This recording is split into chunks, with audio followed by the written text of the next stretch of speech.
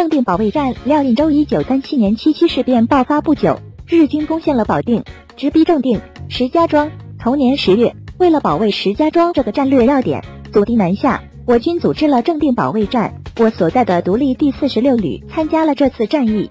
这个旅的前身是西北军的第二师，参加抗日同盟军对日作战失败后，缩编为独立第四十六旅，曾隶属于徐廷瑶的第十七军。一九三六年驻河南，归刘氏直接指挥。该旅旅长鲍刚，副旅长乔明礼，后问心少廷监，参谋长吴石明，政训处主任陈瑶。该旅辖两个团，一个独立营。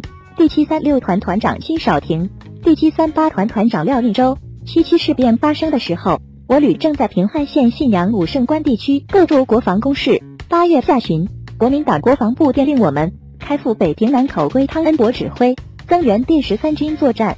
当我们到达河南张德、安阳车站时，汤恩伯派人通知鲍刚，本军已由南口撤至张德补充休整，大旅即在张德下车待命。汤看到这个旅阵容整齐，士气旺盛，只是装备太差，每连只有三挺轻机枪，步枪也都陈旧不堪。建议把这个旅与第十三军混合整编，道刚表面不敢拒绝，心里却很不情愿。消息传到下边，反响十分强烈，一致反对分散补充，要求开到最前线打敌人。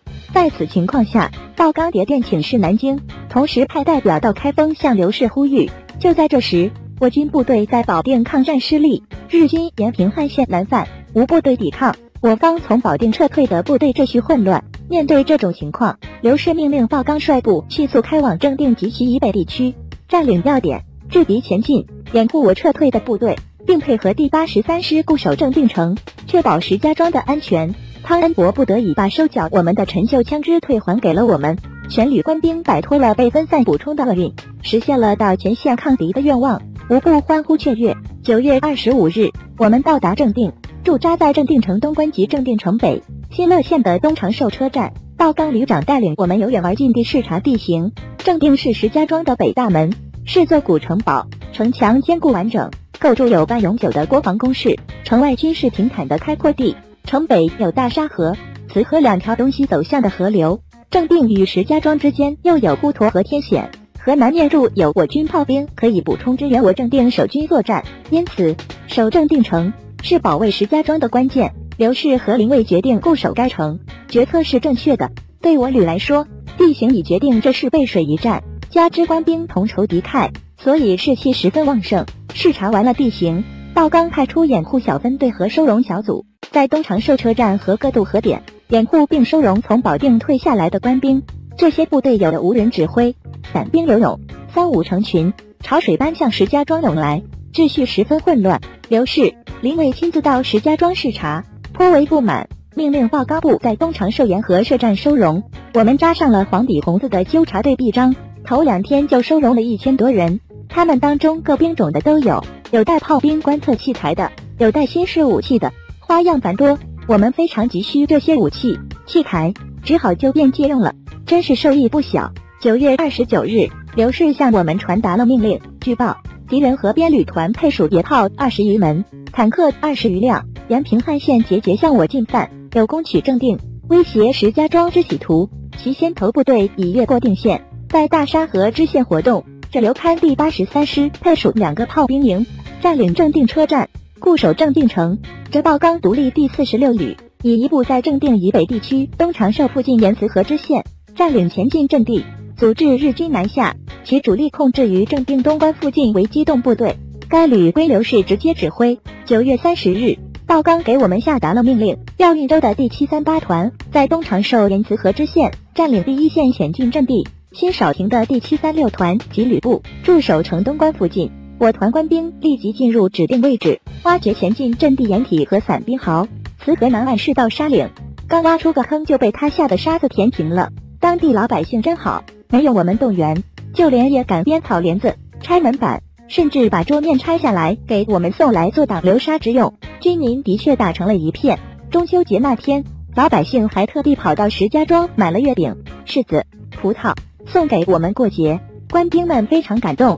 十月一日，敌人一个大队百余人向我们发起进攻，被我击退。十月二日，第八十三师调往娘子关，固守正定的任务由第三十二军向肯塘的第一四一师和我旅接替，我旅归送肯塘指挥。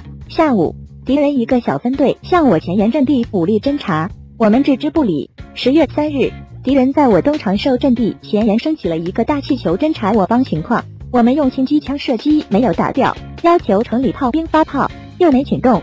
上午十时，敌人向我们打来了猛烈的炮火，我们的攻势被炸塌了，就利用从柳芦坪做掩体。继续坚守，敌炮火刚刚停止，四五百名敌兵越过大沙河、磁河，向我们发起了进攻。我们立即登上山头，占领有利阵地，给敌以很大杀伤。我们的阵地又稳固了。十月四日，敌人先打来了一阵炮火，接着几辆坦克向我们发起进攻。我们请求城里的第一四一师和炮兵部队向敌拦截射击，他们却以缺少炮弹为借口，支援很不及时。眼看着让敌坦克越过了我团前进阵地。敌步兵也随着冲了上来，我立即命报汝峰的第二营向我城北关第二线转移，李嘉欣的第三营向我城东北角主阵地转移。这时，一部分敌人向车站迂回，被我团第二营击退。当天晚上，一股敌人偷偷窜到正定车站西北面一个小村子里，把住在那里等候转移的我旅野战医院的一百多名伤病员和医务人员用刺刀活活给戳死了。我们得到这个消息时，敌人早已逃之夭夭。全旅官兵被都气炸了，憋足了劲儿，是与敌人决一死战，替死难的兄弟报仇。十月五日上午，敌人又升起气球对我侦察，随即派一股步兵向城东北高地我团第三营阵地和城北关我团第二营阵地进攻，均被击退。午后，大批敌人步兵在坦克的掩护下，再次向城东北高地我阵地发起猛攻，我团第三营被迫转入城东门附近的预备阵地。下午的战斗更为激烈。敌人用密集的炮火向我城内轰击，在城东北角轰开了一个三丈多宽的大口子，三百多名敌步兵从缺口进入城内。辛少廷团与我团第二营配合第一四一师把敌击退。十月六日上午，敌人继续集中火力向这个缺口轰击，好几辆坦克冲进了城内，与我城内守军展开了激烈的巷战，又一次被我击退，战局处于拉锯状态，战事日益激烈，我们的部队都中途撤退。六日夜间。第一四一师师长宋肯堂向我们传达了商镇的命令，这独立第四十六旅接替第一四一师守正定城的防务，军令如山，必须执行。是夜子时前，新少廷的第七三六团已接替完毕。后半夜，第一四一师及守城的炮兵全部过了滹沱河向南撤去。我们曾电报请示刘氏，留让我们再坚守三四日。我们孤军奋战，诱临强敌，但官兵们毫无畏惧。赵刚向全旅官兵做了慷慨激昂的讲话：“人生自古谁无死？留取丹心照汗青。我们要与正定城同存亡，为国捐躯，死也光荣。”全旅官兵士气大振。七日上午，敌炮火继续轰击正定城的缺口，下午又以工兵开道，坦克紧随，再次攻进了城内。辛少廷率第七三六团官兵登上平房顶与敌巷战，把一束束手榴弹向敌坦克投去，把敌人打得猛头转向。老百姓主动给我们送水、送饭、送弹药，还担架运伤员。新团第一营和旅部特务连固守南门及城南关，敌屡攻不下，又向我城东南方向迂回，企图包抄正定城。道刚命令我带第七三八团第二、三营迅速转移到城东南五华里处的大林脊、小林脊迎击敌人。七日下午，我团一部分兵力到达那里，其他兵力于八日到达。我们刚到达小林记，旅长鲍刚。参谋长吴石明、政训处主任陈瑶和第七三六团团长辛少廷也赶到了。敌人炮火密集的向我阵地轰击，吴石明和陈瑶吓得魂不附体，爬在砍倒了的玉米棵捆上不敢动弹。鲍刚走上前去，嘲弄的说：“哎，起来呀！你们整天说要为校长指蒋介石效忠，怎么忘了？”吴、陈二人很尴尬的站了起来。鲍刚又转身对官兵们说：“胆量是练出来的，不是天生的。对炮弹，躲是躲不开的。”炮弹不长眼，却专找胆小鬼炸。说着，他向大家一招手，跟我来，迎着炮火走，胆子就练出来了。说完，腰板笔挺的向前走着。辛少廷和我紧随在他身边，许多官兵也都跟着走了起来。被我们收容的从保定下来的那些被日军吓破了胆子的官兵们，也都镇静下来。不一会儿，敌人坦克在前，步兵在后，向大。小林记发起了进攻，我团官兵登上老百姓的平房顶，与之展开了激烈的战斗。老百姓主动加入了我们的战斗行列，把从家里拿来的棉被浇上汽油点燃，与我们一起向敌坦克上抛去。我们把能用上的火力都向敌人发射过去，又一次打退了敌人的进攻。九日，我们又坚守了一天。由于兵力消耗太多，全旅四千多人损失了一半，其中校官死伤十多人，卫官死伤三十多人，加之武器装备又差，正定城终于被敌人攻破。于是刘氏给我们下达了撤退的命令。听说我们要撤退了，正定的老百姓十分悲伤，老老少少围了上来。一位老百姓含着眼泪说：“长官们，兄弟们。”你们中秋节来，双十节走，为正定流了血，乡亲们感激你们。我们备下了一点酒菜，喝点，吃点吧。说到这儿，他已潸然泪下，官兵们也大都流下了热泪。队伍正准备向南开拔，一大群老头老太太拉着一些青年男女赶了上来，有的还牵来了骡马。他们跪在我们面前，抱着官兵们的腿，边哭边说：“老总，把我们的儿子带走吧。”不能叫他们留在这里让日本鬼子杀害，把我们的女儿带走吧。不能眼看着他们留在这里让日本鬼子糟蹋，把我们的骡马带走吧。不能留在这儿白白让日本鬼子抢走，求求你们了，求求你们了，真把人心哭碎了。本来我们还要作战，不愿增加负担，在这种情况下，只能答应了乡亲们的请求，带走了七十多名小伙子，三十多名姑娘，依依不舍地告别了正定。第一次医师和炮兵南撤的时候。曾在滹沱河上搭过一座便桥，但他们南撤时过了河就把桥拆了。老百姓帮我们选择了一处河水比较浅的涂射场，但仍然水深过胸，河底又尽是淤泥，稍一停顿就陷了下去。百十名官兵在敌人炮火下幸存了下来，却丧生于腹，令人心寒。夜里，我们到达石家庄，难免整顿了队伍。刘氏电令我们三天内到达歙县补充，我们遵办了。谁知。政训处主任陈瑶给军令部拍了一个电报，说我旅已完成扼守正定的任务，但官兵伤亡殆尽。军令部回电说，该旅伤亡殆尽，停止发薪，真是苦了我们。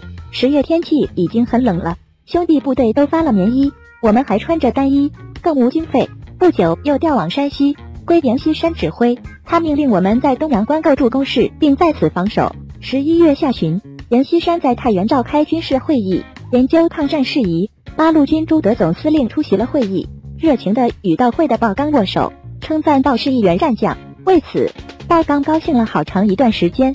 会后，阎锡山给我们拨来了棉衣和经费。十二月，我们开到河南焦作，与张轸的豫北师管区东北骑兵旅合编成了第一零师。不久便赴山东参加了徐州会战。王义全整理原载中国人民政治协商会议全国委员会文史资料研究委员会编中国文史出版社一九八六年五月一版以印之七七事变原国民党将领抗日战争亲历记。著作者当时系第二十集团军独立第四十六旅第七三八团团长廖运周，一九零三到一九九六年。安徽凤台廖家湾人，现属淮南市田家湾区安城镇。一九二六年入黄埔军校第五期。一九二七年曾加入过中国共产党，参加了北伐战争和南昌起义，后做兵令工作，任寿县学兵团教育副官，参加阜阳和正阳关武装暴动，任报钢师的连长，参谋参加发动芜湖兵变，任抗日同盟军第二师九团团长，国民党军独立第四十六旅七三八团团长。